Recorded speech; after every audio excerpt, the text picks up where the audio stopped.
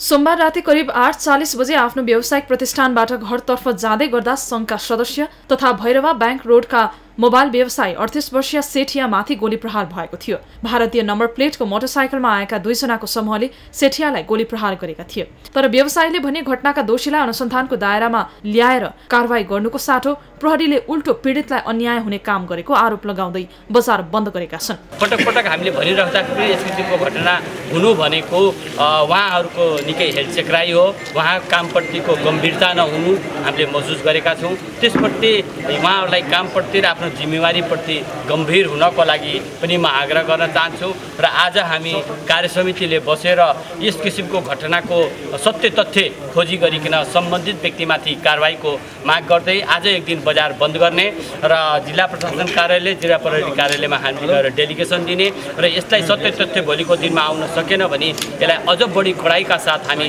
अगाडि बढ्ने निर्णय पनि उद्योग वाणिज्य सङ्घले गरेको छ। व्यवसायीहरूले मङ्गलबार बजार बन्द गरी जिल्ला प्रशासन कार्यालय र जिल्ला प्रहरी कार्यालयमा कारवाहीको माग गर्दै ज्ञापन पत्र समेत बुझाएका छन्। ज्ञापन पत्र बुझ्दै प्रमुख जिल्ला अधिकारी हरिप्रसाद मैनालीले घटना दुःखद भएको भन्दै प्रहरीलाई अनुसन्धानमा सहयोग गर्न आग्रह गर्नुभयो। प्रहरीले अनुसन्धानको प्रक्रिया अगाडि बढाएको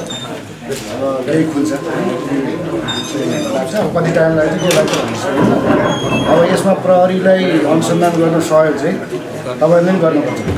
र केही सोधपुछ गरेर उनीहरूलाई इन्फर्मेसन दिने अनुसन्धानमा सहयोग गर्ने नारी त्यो भएर अलिकति लगेर सोधपुछ गऱ्यो राख्यो भन्ने हिसाबको त्यस्तो खालको कुराहरू चाहिँ नगरिँदा राम्रो हुन्छ भन्ने लाग्छ र फेरि पनि चाहियो भनेदेखि जुनसुकैलाई मान्छेलाई सोधपुछ गर्न सक्ने अवस्था हुन्छ।